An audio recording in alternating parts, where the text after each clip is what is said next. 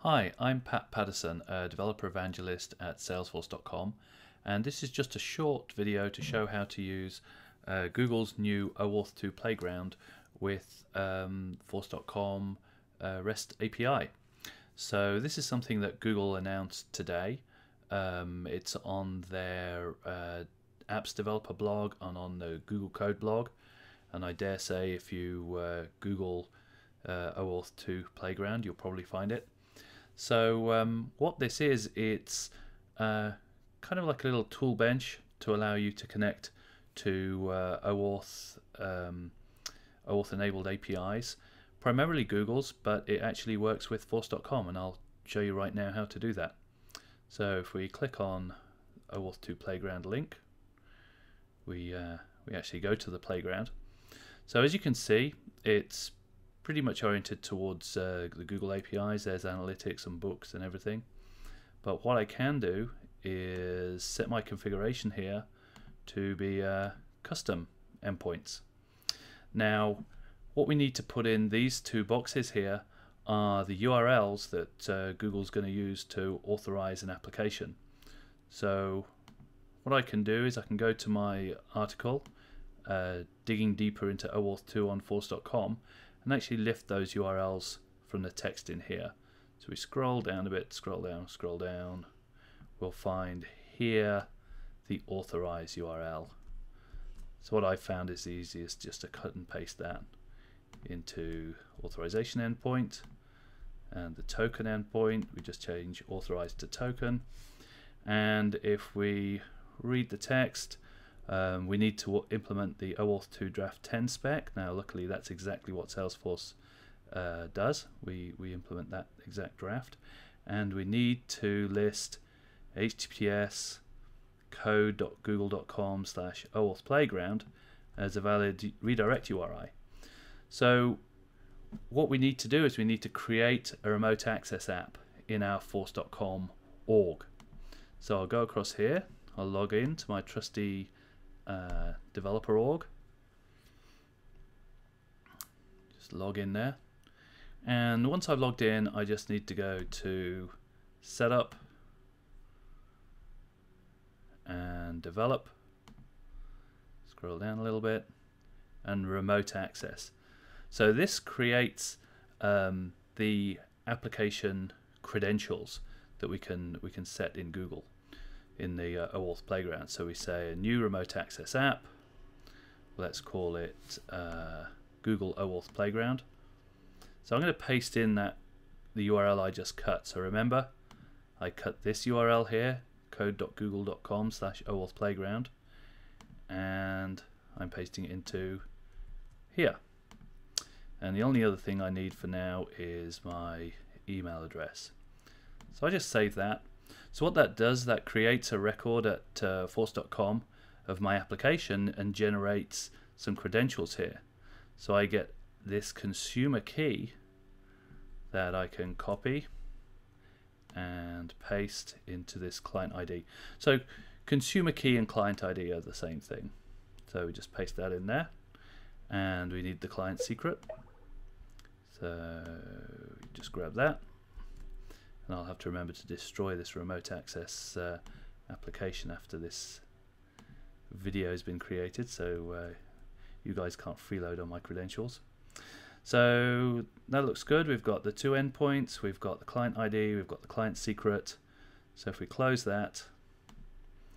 Now Google want a scope. Uh, scope is optional. Um, and if you omit the scope, if you if you look in the article here, the digging deeper article, you can go down. You can see the discussion of scope here. It basically says um, allows you to uh, get control of what the client application wants to access. So I'm just going to copy ID API refresh token, which is in fact uh, the scope you'd get if you uh, didn't bother passing it at all.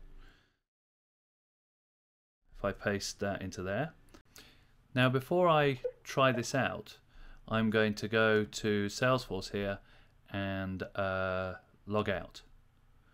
That way we'll see the, the full effect. Okay, so I don't have a session uh, over there anymore. Now I can say authorize APIs And what should happen is that I'm taken to Salesforce. I have to log in. So I'm just going to use the same credentials as I used before.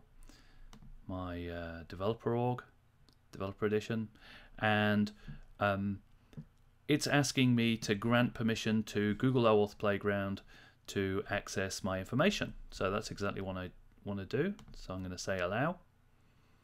And uh, we're in business. We've done step one of OAuth. Uh, it's a two-step process, and we're in manual control. We can really get an insight into what's going on. So we've been redirected to Google. Um, we we went to Google. That redirected to us to Salesforce rather. We authenticated. We gave uh, authorization for the playground to access our data, and we come back with this code. And then step two is exchanging the authorization code for the tokens that we need to call the API and that succeeded. And this is the response that we got.